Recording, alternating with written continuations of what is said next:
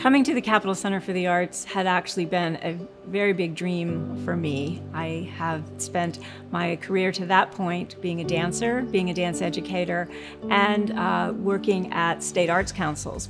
Well, the Capitol Center had reached a point where it was really time to make an investment in our facility where the Chubb Theater is. And we worked for about two and a half years on planning project. We also, in that project, wanted to incorporate a second venue. We were going to create a small theater out of our kitchen so that we could have a more intimate space for smaller type programming.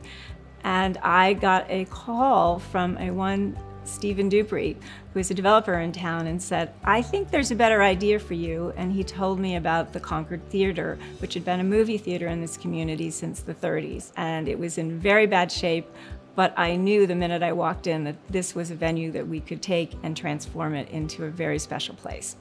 Being able to lead one of these at that point in my career was very exciting. The Bank of New Hampshire stage actually started as a bakery.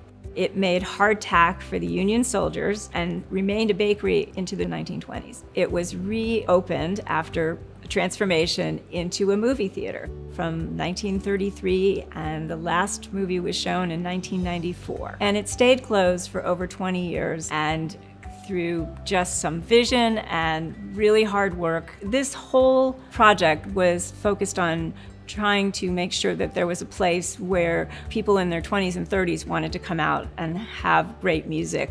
What is wonderful in the flexibility of this space means that we serve different kinds of audiences uh, for different types of events. We have small plays here. We broadcast live from New York City, the Met Opera, and then at night the seats go pushed away and out come all of the great musical talent across New Hampshire and the region. When you work in the arts, it is so personal to who you are and, and how you view the world. And learning that I was going to get this award was, was very surprising and took my breath away. I was very honored, very humbled, because also in the arts, you never do anything alone. It's not just you. It is really the ensemble of people and the people that you've worked with and the staff and board and all of the artists and other cultural workers of the state that I've had the joy to get to know over the years. It is work that has felt so meaningful and to be recognized is just so touching and so wonderful. I'm very grateful. I'm Nicki Clarke. I'm the Executive Director of the Capitol Center for the Arts in Concord.